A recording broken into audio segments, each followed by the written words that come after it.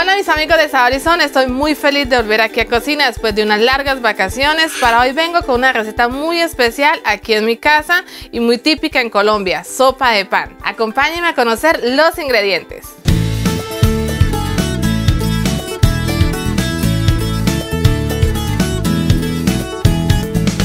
Saborizón de mi tierra con Belkis Hernández. Yo utilicé tres bolsas de pan tajado o pan de molde picado en cuadritos. Huevo cocido, utilicé 10 unidades. Le voy a colocar cebolla junca finamente picada. Utilizar aceite. A mi preparación le voy a colocar cuajada. Usted le puede colocar el queso de su preferencia. A mí me gusta cuajada porque es muy tradicional. Color, un mil de especias, pasta de ajo, sal y cerdo. Estos son todos los ingredientes. Muy fácil. Espero que se animen a preparar. Si has seguido alguna de mis preparaciones, sabes que primero, antes de cualquier cosa, sello las proteínas. Vamos a adobar el cerdo, lo sellamos y después seguimos con la preparación. Vamos a agregar un toquecito de sal. Vamos a agregar color. Y el mix de especies de su preferencia. Ese tiene comino, tiene pimienta un poquito de laurel molido, un poquito de orégano molido, un mix. Y agregamos la pasta de ajo.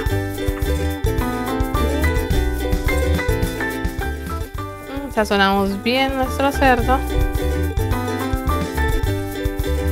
Agregámosle toda la pastica de ajo. Si quieres aprender cómo hacer esta pasta de ajo, en mi canal tengo un video donde te enseño a hacer esta pasta de ajo súper fácil que puedes hacer y conservar en la nevera para cualquier preparación. Vamos a agregar un chorrito de aceite. En esta ocasión, a mí me encanta trabajar con lomo.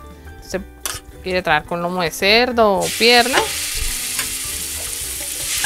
Vamos a hacer bastante. Normalmente siempre mis recetas son bastantes porque aquí en la casa vamos bastantes entonces siempre trato de hacer una preparación en bastante cantidad para que todo la podamos probar.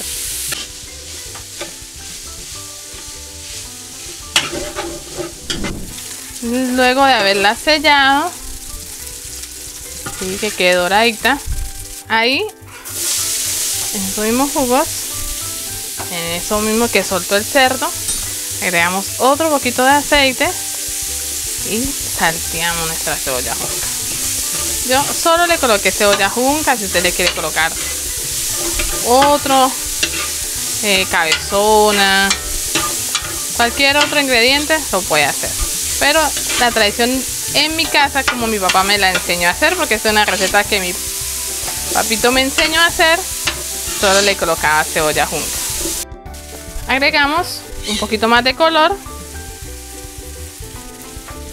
poquito más de mis especies. Y incorporamos. A mí me gusta agregarle agua caliente. Y tengo aquí echando el fuego una olla con agua caliente. Estamos súper bien y le agregamos agua caliente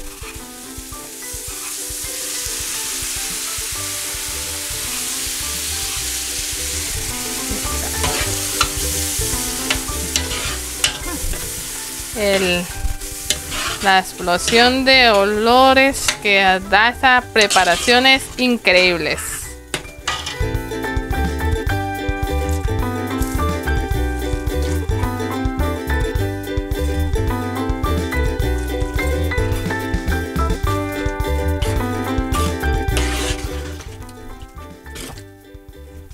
Mezclamos. Ahorita cuando ya se haya incorporado esta preparación con el agua que le estoy agregando, rectificamos sal.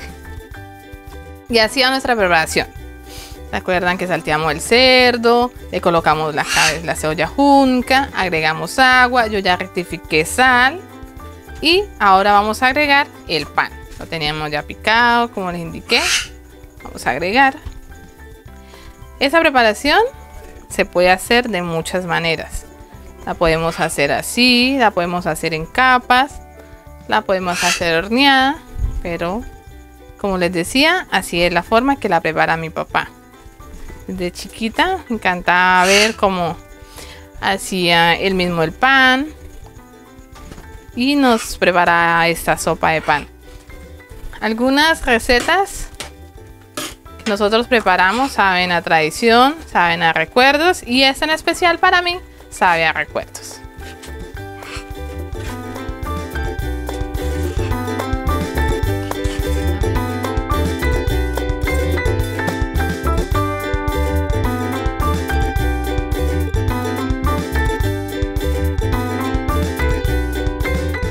Y por último, y no menos importante, agregamos el huevo y la cuajada.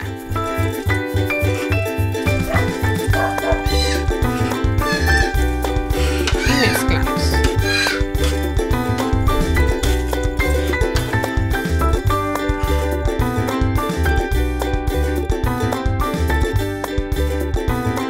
Agregamos el queso y la cuajada de último porque solo necesita un poquito de cocción, no necesita mucha, solo que se incorpore con esta delicia y listo. Y esta es la muy tradicional sopa de pan que se prepara aquí en mi casa. Espero les guste esa receta y se animen a prepararla. Muchísimas gracias por apoyar este sueño de sabor y nos vemos en nuestra próxima preparación.